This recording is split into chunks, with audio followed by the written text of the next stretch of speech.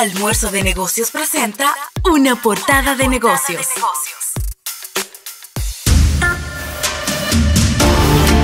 Bien, señores, y seguimos en este tu almuerzo de negocios del día de hoy. El agradecimiento a Capcana, Ciudad Destino, por el auspicio de esta sección. Manuel Rivera. Sí, señor. Mucho de qué hablar en este día de hoy. Y traías la información sobre vamos a seguir compartiendo con el público sobre esta parte. Sí, que tiene que ver con el, costo de las elecciones, ¿no? Ah, sí, claro. Vamos a hablar de eso. Vamos a hablar sí, de eso. bueno, realmente es un tema que, obvio, está en boga en estos momentos. Eh, estábamos hablando de que el costo electoral de nuestras elecciones en República Dominicana asciende en este momento a unos 85 millones de pesos. Eh, bueno, no, 85 mil eh, eh, eh, basado en temas de, perdón, 85 millones de dólares, es el, es el dato. 85 millones de dólares, mm, al cambio en pesos, ronda más o menos unos 5 mil millones de pesos dominicanos. Y en América Latina normalmente se toma en cuenta cuánto valió cada voto por, por participante. Me encanta ese cálculo.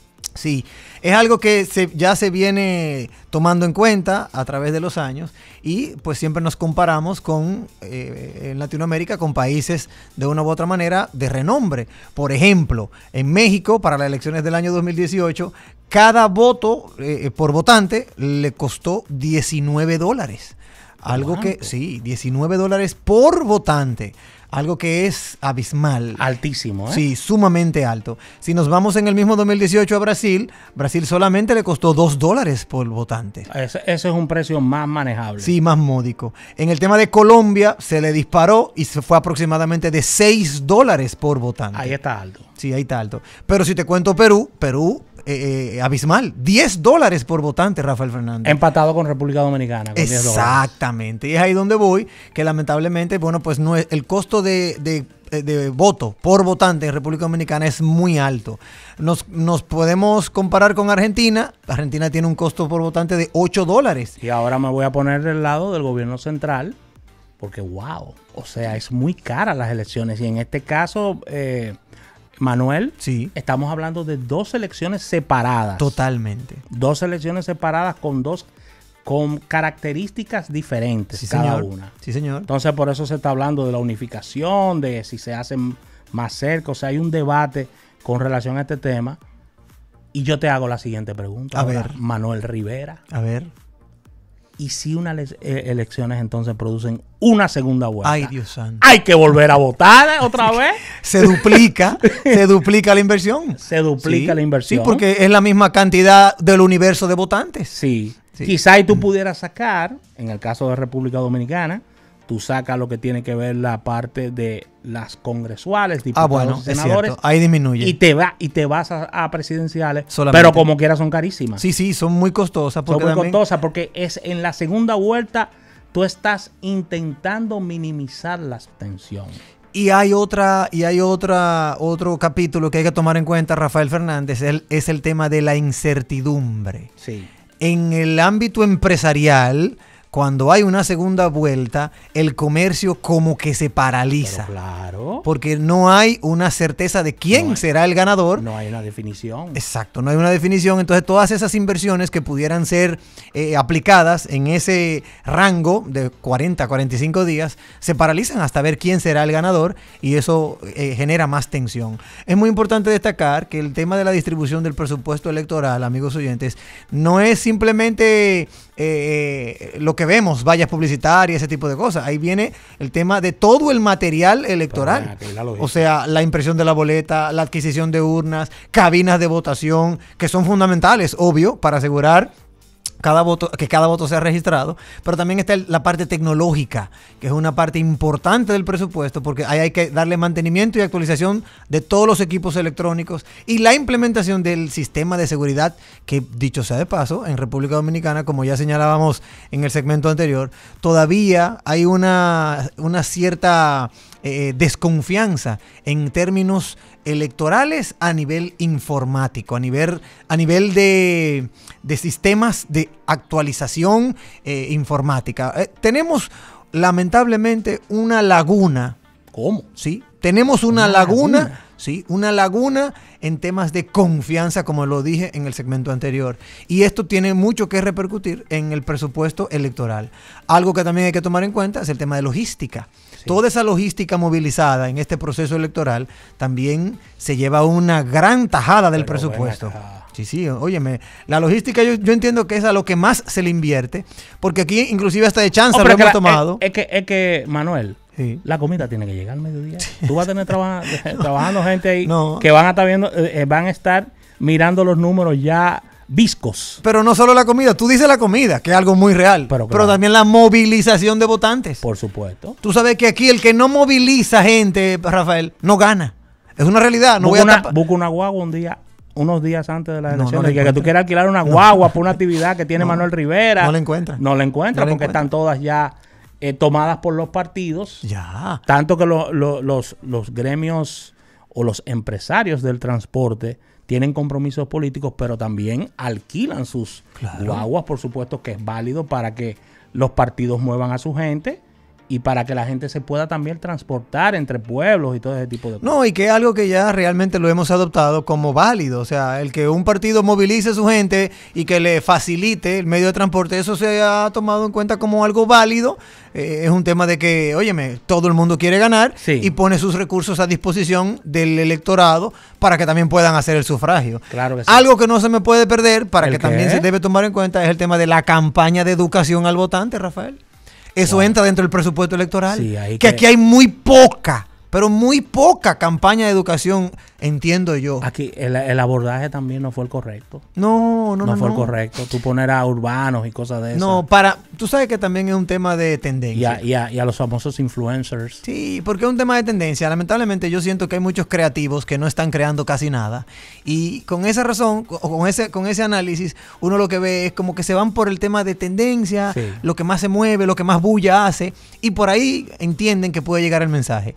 Yo entiendo que estos puntos tienen muchas oportunidades de mejora. de mejora. Estoy de acuerdo contigo. Sí, es una realidad. Y el tema de los presupuestos, como tú bien lo acabas de señalar, tenemos 10 dólares por votante para poder lograr Eso es que eso sea así, muy alto. Para una nación como nosotros. Sí, eso es muy alto. Una Eso- nación así como Hay- que hay- eso, hay de que, desarrollo. eso, hay, a eso hay que irlo bajando porque eso, eso habla de una de lo que es la parte de una eficiencia. Y no me vengan con la frase de que, que la democracia salen carísima. No me vengan con eso. Sí, siempre salen con eso. No me vengan con eso porque la Junta Central Electoral al final del camino siempre queda corta con el tema que tiene que ver con los presupuestos percibidos.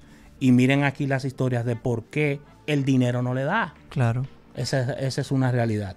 Mire, y moviéndonos y quedándonos en la República Dominicana, pero moviéndonos a la parte de turismo, atención Puerto Plata, y es que Puerto Plata está afianzando lo que es su liderazgo en el, en el tema de cruceros, ya que en el universo de República Dominicana de cruceros, Sí. Puerto Plata está captando el 75% de las llegadas ¿Cómo? de cruceros a Pero República bien. Dominicana. Así que a mí me encanta esto porque ya, eh, Peque, Sí. hay un posicionamiento de Puerto Plata como destino turístico y, y en algún momento tú lo has dicho, Manuel, que no todo se debe parecer a la, a la zona este. No, o sea. Cada, cada clúster turístico debe tener su realidad, Su esencia. su esencia y su posicionamiento. Mira, está haciendo lo propio Santiago Sí, señor. con lo que es el turismo de salud. Porque es que el turismo es muy variado, Sí, eh, Manuel sí, Rivera. eso es así. Entonces, Puerto Plata eh, está, está generando el 75% de las visitas con todo este, todo este tema de Amber Cove y Taino Bay, que son sus grandes puertos de recepción de, de cruceros.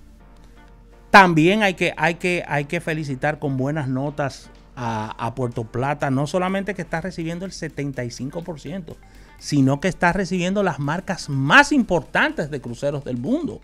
Señora, que hemos visto cruceros que están en el top 3 de tamaño Sí, es a nivel mundial, o Es sea, cierto, sí. o sea, no, y, y que esos y que esos cruceros, por esa importancia y por ese seniority que tienen, no pasan por cualquier país, No. eh, Manuel Rivera. Eso es verdad, eso es verdad.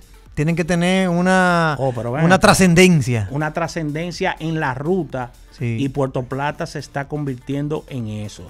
Hay que decirlo, eh, Manuel Rivera, el, la seguridad ha cambiado muchísimo en Puerto Plata a su favor.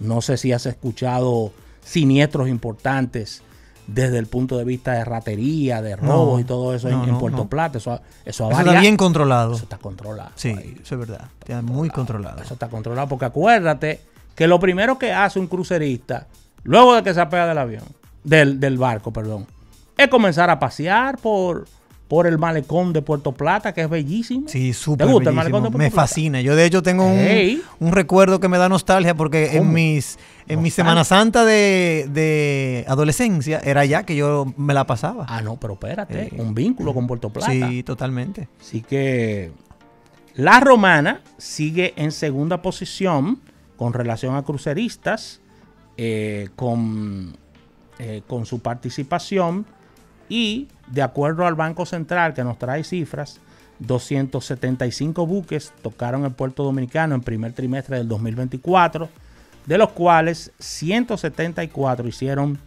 su caída en, o su abordaje ahí en, en Puerto Plata, reafirmando su liderazgo. Así que las terminales de crucero de Capcana, Isla Saona y Pedernales eh, están trabajando lo que es eh, el ingreso de cruceristas ya para lo que va de año. Es decir, lo que decimos como lo- los puertos de cruceros emergentes.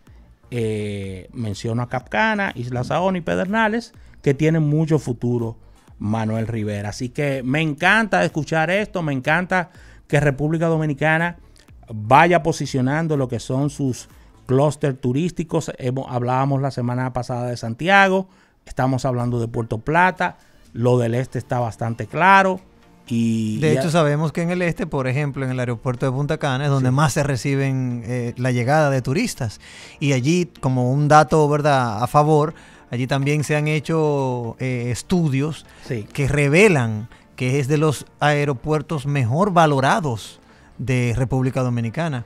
De hecho, es. hay un estudio que acaba de lanzar, el, según una encuesta del Banco Central, Sí. se, se registra como el aeropuerto de Punta Cana, que es el que más eh, eh, turistas recibe, se mantiene eh, como pionero y como de los principales eh, en el top of mind Sí. de los turistas que vienen al país, que son encuestados, y que cuando se le pregunta si el propósito de su viaje fue, eh, es- estuvo o, o cumplió, cumplió la misión, Sí. ellos dicen que sí, confirman de que sí. Ciertamente se han sentido a gusto. Siguiendo, siguiendo ya para cerrar, dándole un poquito de, de input a, a toda esta parte del turismo con buenas noticias, la ocupación hotelera promedio del país se disparó en un 4.8 en el primer trimestre de este año.